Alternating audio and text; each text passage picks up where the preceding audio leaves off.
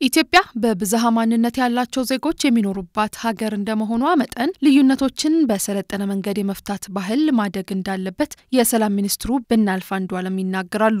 ከዚህ አኳያ የሰላም ሚኒስቴር ልዩነቶችን በውይይት የመፍታት ባህል እንዲጎለብት የተለያዩ ስራዎችን እያከናወነ ስለመሆኑ ገልጸዋል። በሚቀጥሉት ዓመታት ሁለት ነገሮችን ለመስራት ነው የምናስበው በትምህርት ቤት ደረጃ። አንደኛ የቅድም እንዳልኩት በስርዓተ ትምህርቱ የሰላም ትምህርት እንዲካተትና ትምህርቱ ከታች ክፍል ጀምሮ እስከ ከፍተኛ ትምህርት ተቋማት ድረስ እንዲሰጥ የማድረግ ስራ ነው አንዱ ለመስራት እየተዘጋጀን በጋራ እየሰራን ያለ ነው። ለዚህ ደግሞ ትምህርት ቤቶች ከእውቀት መገበያነት ባሻገር የሰላም እሴት የሚጎለብትባቸው ማዕከላት ሊሆኑ እንደሚገባ ነው ሚኒስትሩ የገለጹት። በመሆኑም ከታች ከትምህርት ቤት ጀምሮ የሰላም ግንባታን በትምህርት ስርዓቱ በማካተት ጭምር ችግሮችን በውይይት የመፍታት ባህል እንዲዳብር ይሰራል ያሉት። በተጨማሪም በትምህርት ቤቶች የሰላም ክበባት እንዲጠናከሩ እንደሚደረጉም እንዲሁ ሰላም ሲባል ጦርነትን ማስወገድ፣ ግጭትን ማስወገድ ብቻ አይደለም።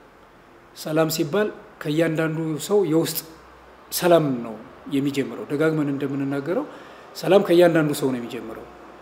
እያንዳንዱ ሰው የውስጥ ሰላም፣ የአእምሮ ሰላም እንዲኖረው የማድረግ ስራ በጣም important ነው።